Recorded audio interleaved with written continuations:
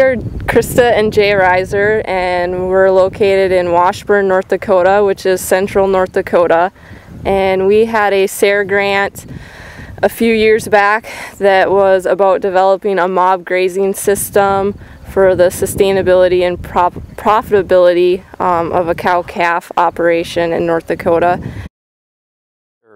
In the grant we said that we would mob graze approximately 400 acres of native rangeland a year in a mob grazing system.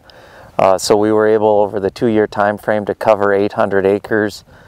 The biggest thing we learned is it's not an acreage to be attained, it's a, a tool to be used on specific environments or specific areas that require that tool. In year one we did the, we mob grazed with uh, 200 cow-calf pairs and year two uh, was a drier year. We used uh, approximately 130 cow-calf pairs and with those um, with the moves across the native range we were giving those animals anywhere between um, an acre to two acres uh, to graze per move and we were moving um, approximately four times a day with the first move of the day being larger and the last move of the day being larger.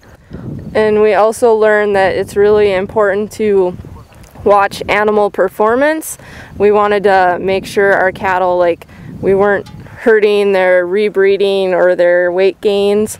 So uh, we were checking them all the time and making sure they had proper gut fill and that their manure looked um, the right consistency because we really didn't want to um, hurt our animals because if we decrease performance that would not be good for our pocketbook and um, that was, it's just something that we really had to pay attention to and learn um, and watch daily. It also took us a while to figure out how long our cattle could graze in a cell.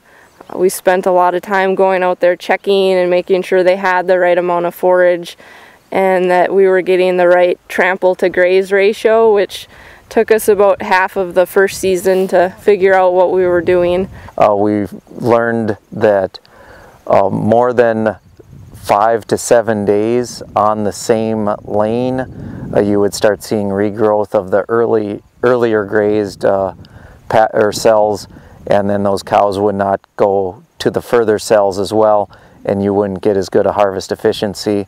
Along those same lines, if we did really long skinny cells getting up to a more than a half mile away from the water source, the cows would get lazy and they didn't want to walk back more than a half mile to water. We also had some issues with grazing during really hot periods. Um, we wanted to move usually in the middle of the day when the sugars were the highest in the grass, but it was too hot out and the cattle did not want to move. So then we learned that we needed to go to more like moves at night and the cattle were grazing better. Just it was too hot for them to be grazing during the day. Um, another thing we learned was like the variability in the native rangeland, our soils, um, as we went from like our floodplain up to the hilltops. Um, there was a lot of change in production, so it was really hard for us to get our cell size and in our densities. The setup we use for uh, doing our mob grazing, we use a, a, product called a Batt-Latch, which is an automatic gate opener, um, so that we didn't have to be out here every time that the cows moved. Uh, we also use um, pigtail step-in posts and uh, poly braid um, electric fence wire on geared rollers were our preferred method.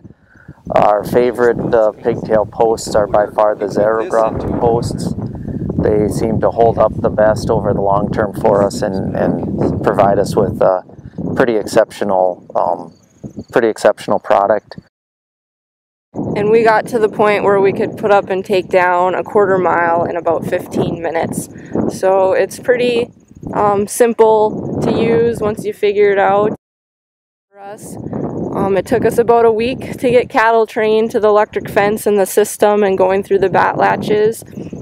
Um, the first week was just checking them a lot and making sure everything was going right. But after that, they figured it out and we just kind of all learned as we went.